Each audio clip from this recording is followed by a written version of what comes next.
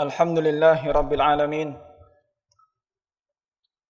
نحمده تعالى ونستعينه ونستغفره ونستهديه ونتوب إليه. ونعوذ به من شرور أنفسنا وسيئات أعمالنا. إنه من يهد الله فلا مضل له. ومن يضلل فلا هادي له. وأشهد أن لا إله إلا الله وحده لا شريك له الملك الحق المبين وأشهد أن نبينا محمدا عبده ورسوله وصفيه من خلقه وخليله الذي بلغ الرسالة وأدى الأمانة ونصح هذه الأمة وجاهد في سبيل الله فكشف الله به عن عباده الغمة. صلوات الله وسلامه عليه. وعلى آله وأصحابه. ومن سار على نهجه واستنى بسنته. ودعا بدعوته واهتدى بهديه. إلى يوم لقاء ربه. وقد قال ربنا جل وعلا في كتابه العزيز يا أيها الذين آمنوا اتقوا الله حق تقاته ولا تموتن إلا وأنتم مسلمون. فأوصي نفسي وإياكم بتقوى الله عز وجل.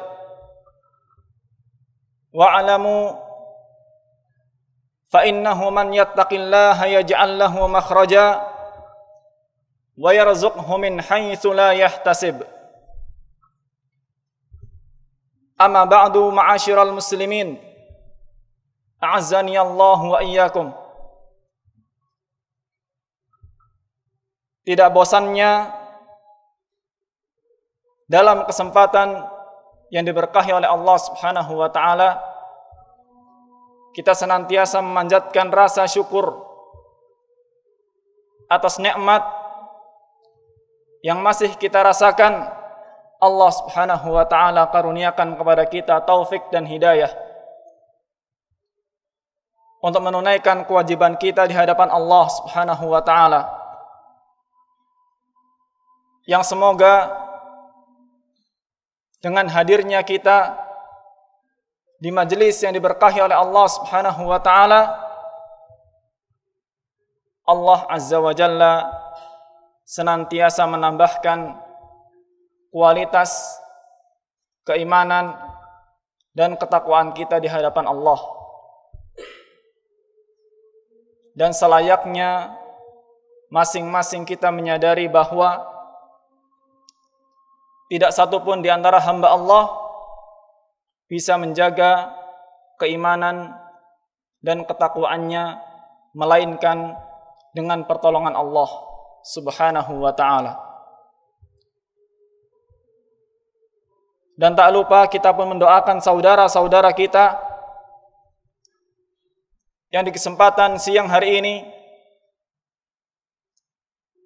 belum dimudahkan oleh Allah Azza wa Jalla untuk menghadiri satu momen yang sangat penting. Satu kewajiban yang Allah Subhanahu wa taala turunkan atas kita. Baik mungkin di antara saudara-saudara kita berada di tengah perjalanan safarnya atau mungkin terbaring di atas kasur tempat tidur karena sakitnya atau bahkan mungkin di antara mereka ada yang belum menyadari betapa pentingnya langkah-langkah kaki menuju rumah-rumah Allah Subhanahu wa taala untuk menunaikan ibadah Jumat ini kita senantiasa mendoakan semoga hidayah yang kita rasakan di siang hari ini Allah Subhanahu wa taala pun berikan kepada sebagian saudara kita. Jamaah Jumat rahimakumullah. Di dalam surat Muhammad ayat yang ke-31 Allah Subhanahu wa taala berfirman وَلَنَبْلُوَنَّكُمْ حَتَّى نَعْلَمَ الْمُجَاهِدِينَ مِنْكُمْ وَالصَّابِرِينَ وَنَبْلُوَ أَخْبَارَكُمْ Allah Subhanahu wa taala berfirman dan sungguh kami akan uji kalian sehingga nampak nantinya siapa di antara kalian orang-orang yang benar-benar berjuang, berjihad, bermujahadah di jalan Allah Subhanahu wa taala dan siapa di antara kalian yang sabar. Dan akan kita lihat perihal-perihal kalian nantinya jamaah Jumat rahimani wa rahimakumullah. Ujian adalah satu keniscayaan yang akan dialami oleh seorang yang mengaku dirinya beriman kepada Allah Subhanahu wa taala. Dan salah satu wujud ujian yang mungkin sering kali dirasakan oleh sekian banyak kaum muslimin oleh sekian banyak hamba-hamba Allah Subhanahu wa taala adalah ujian ketika seorang merasakan satu kegagalan dalam suatu proses kehidupan. Di antara hamba Allah Subhanahu wa taala ada yang Allah uji dengan kegagalan dalam rumah tangganya. Ada yang Allah uji dengan kegagalan di dalam bisnis wirausahanya. Bahkan ada yang Allah Subhanahu wa taala berikan ujian dalam bentuk kegagalan di dalam pendidikannya dan berbagai macam aspek kehidupan lainnya. Dan kita lihat bersama jamaah Jumat hadani Allah wa iyyakum di antara hamba-hamba Allah Subhanahu wa taala. Ya Allah berikan ujian. Dengan izin Allah masih ada yang diberikan kelapangan hati. Menghadapi berbagai masa berbagai macam permasalahan dengan senyumnya. Tidak pernah surut semangatnya. Dan senantiasa menghadapinya dengan selalu mendekatkan dirinya kepada Allah Subhanahu wa taala. Dan sebaliknya, di antara hamba Allah Azza wa Jal, ada yang disempitkan hatinya. Menurun semangatnya. Ketika ada satu kegagalan melanda, hilang konsentrasinya. Futur jiwanya. Tidak khusyuk salatnya. Dan lebih jauh daripada itu, Ma'asyiral muslimin, a'azzani Allah wa iyyakum. Tidak sedikit di antara hamba-hamba Allah Azza wa Jal yang diuji dengan kegagalan mereka semakin jauh dari Allah Subhanahu wa taala. Maka mengingatkan dengan satu sabda Nabi kita alaihi salatu wassalam. Sebuah hadis yang dikeluarkan oleh Imam Bukhari dan Muslim Rasulullah alaihi salatu wasallam bersabda, "Ungzuru ila man huwa asfala minkum wa la tanzuru ila man huwa fawqakum." Lihatlah kalian, pandanglah orang-orang yang dalam hal dunia ini berada di bawah kalian. Orang-orang yang lebih susah, yang lebih sulit, yang lebih menderita, lihat mereka. Dan jangan kalian senang untuk melihat orang-orang yang senantiasa berada di atas kalian dalam urusan dunia. Fahuwa ajdaru alla tazdaru ni'matallahi alaikum. Karena yang demikian akan selalu membentengi kalian, menjaga agar tidak pernah meremehkan nikmat Allah yang Allah karuniakan kepada kalian semuanya. Maka jamaah Jumat hadani Allah wa iyyakum. Renungkan dan tanyakan. Siapa pun yang merasa sempit hati ketika satu ujian dalam bentuk kegagalan dia terima, tanyakan kepada dirinya, mengapa saya berbeda dengan fulan? Mengapa saya berbeda dengan Alan? Mereka-mereka yang senantiasa lapang bersemangat menghadapi ujian-ujian Allah Subhanahu wa taala. Namun diri saya barulah satu ujian kecil. Hati ini terasa sempit. Pikiran kacau balau. Maka dari itu jamaah Jumat rahimani wa rahimakumullah. Sadari bersama bahwa seorang hamba yang sempit hatinya ketika menerima ujian dari Allah Subhanahu wa taala adalah satu pertanda besar bahwa dia tidak mendapatkan hidayah disebabkan karena lemah imannya. Sekali lagi, bahwa seorang hamba yang sempit hatinya ketika menerima ujian dari Allah Subhanahu wa taala, menurun semangatnya, futur jiwanya adalah satu pertanda besar bahwa dia tidak mendapatkan hidayah dari Allah Subhanahu wa taala disebabkan karena lemah imannya. Allah Azza wa Jalla berfirman, di dalam surat At-Taghabun ayat yang ke-11. Ma asaba min musibatin illa biiznillah. Wa man yu'min billahi yahdi qalbah wallahu bikulli syai'in alim. Dan tidaklah satu ujian pun, satu musibah menimpa kecuali semuanya dengan izin Allah Subhanahu wa taala. Dan barang siapa beriman kepada Allah, maka Allah akan berikan petunjuk ke dalam hatinya. Dan Allah maha mengetahui segala sesuatu. Maka sadari jamaah Jumat, azani Allah wa iyyakum. Tilik kembali sejauh mana kualitas iman kita di hadapan Allah Subhanahu wa taala. Terkhusus iman kita terhadap takdir yang sudah Allah Subhanahu wa taala tetapkan, yang sudah Allah Subhanahu wa taala catatkan.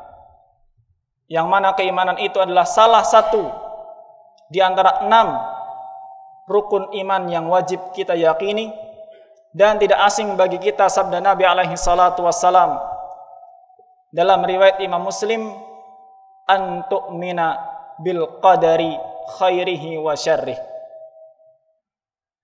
Salah satu keimanan kita yang wajib kita yakini adalah kita beriman terhadap takdir. Baik takdir yang menyenangkan maupun takdir yang tidak menyenangkan untuk kita. Maka jamaah Jumat rahimani wa rahimakumullah. Apa pun yang sudah Allah Subhanahu wa taala tetapkan sebelum kita dilahirkan tidak ada satupun yang bisa menolak. Dan tidak selayaknya seorang hamba ketika Allah Subhanahu wa taala telah tetapkan satu perkara sekalipun itu tidak menyenangkan untuk dirinya, kemudian dia merasa sempit. Maka lihat kembali sejauh mana kita mengimani takdir yang sudah Allah Subhanahu wa taala tetapkan untuk kita seluruhnya. Dan selanjutnya, bawalah hati kita untuk senantiasa berbaik sangka kepada Allah. Sebagaimana Rasulullah alaihi salatu wasallam bersabda dalam hadis yang diriwayatkan oleh Imam Muslim, "La yamutanna ahadukum illa wa huwa yuhsinu billahi dhanna." Janganlah sekali-kali di antara kalian meninggalkan dunia ini mati kecuali dalam keadaan berbaik sangka kepada Allah Azza wa Jal.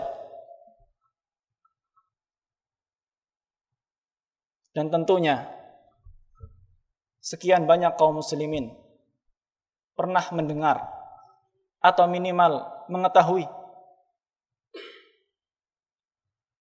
pada hakikatnya apa yang Allah Subhanahu wa taala berikan kepada kita dari kebaikan maupun keburukan menurut kita maka semuanya adalah kebaikan di hadapan Allah Subhanahu wa taala bagi orang yang beriman. Sebagaimana dalam hadis yang sangat masyhur. Rasulullah alaihi salatu wasallam bersabda Ajaban li amril mu'min. Perkara seorang yang beriman itu sangatlah menakjubkan. Fa inna amrahu kullahu khair. Karena perkaranya semuanya itu baik. Walaysa dzaka li ahadin illa li mu'min dan tidak mungkin kebaikan itu didapatkan kecuali oleh orang yang beriman. In asabathu sarra'u syakar fakana khairan lahu.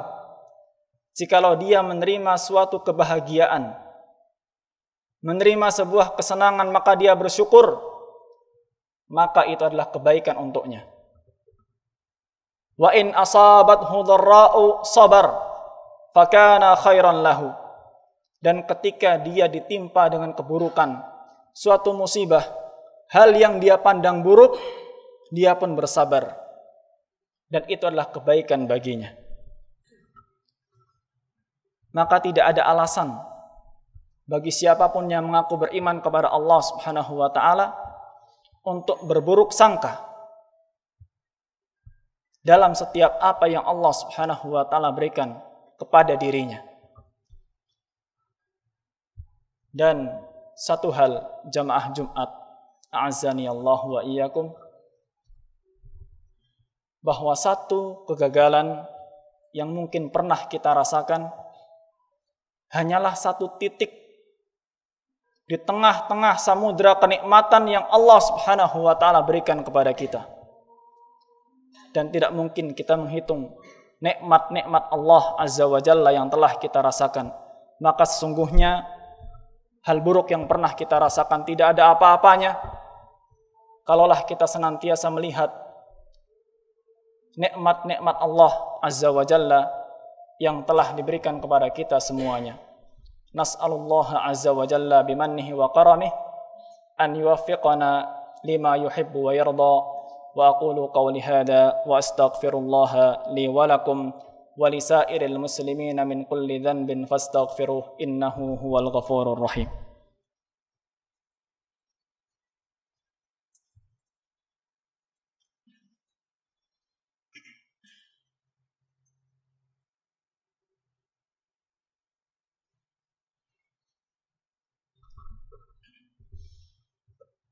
الحمد لله رب العالمين. حمدا كثيرا طيبا مباركا فيه. كما يحب ربنا ويرضى. وأشهد أن لا إله إلا الله وحده لا شريك له. وأشهد أن نبينا محمدا عبده ورسوله. صلى الله عليه وعلى آله وأصحابه ومن تبعهم بإحسان إلى يوم الدين. وسلم تسليما كثيرا. وقد قال سبحانه وتعالى في كتابه الكريم يا أيها الذين آمنوا اتقوا الله ولتنظر نفس ما قدمت لغد. واتقوا الله إن الله خبير بما تعملون. فاتقوا الله عباد الله واعلموا فإن الله سبحانه وتعالى لا يتقبل إلا من المتقين أما بعد معاشر المسلمين hadani Allah wa iyyakum Jika satu kegagalan masih kita pandang sebagai sebuah musibah masih kita pandang sebagai sebuah musibah di dalam kehidupan pribadi kita maka ingatlah satu kaedah yang Allah Subhanahu wa taala sebutkan di dalam surat Asy-Syu'ara ayat yang ke-30.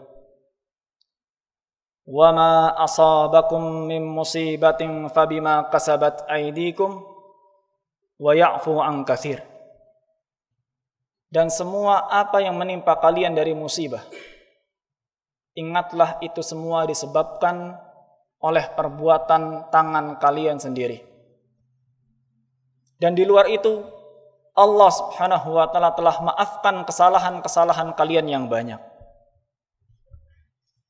maka sebuah kesempitan hati hadapilah dengan senantiasa membasahi lisan ini dengan beristighfar kepada Allah Subhanahu wa taala. Memohon ampun atas kesalahan-kesalahan di masa lalu yang telah kita perbuat. Dan sungguh sebuah kesalahan yang sangat fatal. Ketika sebuah kegagalan justru menjadikan seorang hamba semakin jauh dari Allah Subhanahu wa taala karena frustasinya, karena futur jiwanya, karena sebetulnya kunci utama untuk membuka kembali kesempitan hati ini adalah dengan senantiasa menjaga kedekatan kita dengan Allah Azza wa Jal dengan senantiasa bertakwa kepada Allah. Dan satu ayat yang sering kali kita dengar wa man yattaqillaha yaj'al lahu makhraja wa yarzuqhu min haitsu la Siapa pun yang bertakwa kepada Allah Subhanahu wa taala maka Allah Subhanahu wa taala akan jadikan baginya jalan keluar dan Allah akan berikan rizki dari jalan yang tidak diduga-duga. Wa taala bimanhi wa karamih an yahdiyana siratahul mustaqim wa an yaj'alana من المتقين الصابرين الشاكرين. فصلوا وسلموا على نبينا محمد وعلى آله وصحبه أجمعين. اللهم لا إله إلا أنت سبحانك إنا كنا من الظالمين. اللهم اغفر لنا ذنوبنا وكفر عنا سيئاتنا. وتوفنا مع الأبرار وأنت راض عنا. اللهم أصلح لنا ديننا الذي هو عصمة أمرنا وأصلح لنا دنيانا التي فيها معاشنا وأصلح لنا آخرتنا التي إليها معادنا. واجعل الحياة زيادة لنا في كل خير واجعل الموت راحة لنا من كل شر. اللهم لا تزغ قلوبنا بعد إذ هديتنا وهب لنا من لدنك رحمة إنك أنت الوهاب. اللهم انصر إخواننا المسلمين المستضعفين في كل مكان بنصرك وأيدهم بتأييدك واخذل عدوك وعدوهم يا رب العالمين اللهم انصر إخواننا المجاهدين في سبيلك اللهم كثر عددهم اللهم ثبت أقدامهم اللهم ألف بين قلوبهم اللهم ربنا آتنا في الدنيا حسنة وفي الآخرة حسنة وقنا عذاب النار. وآخر دعوانا أن الحمد لله رب العالمين. وأقم الصلاة.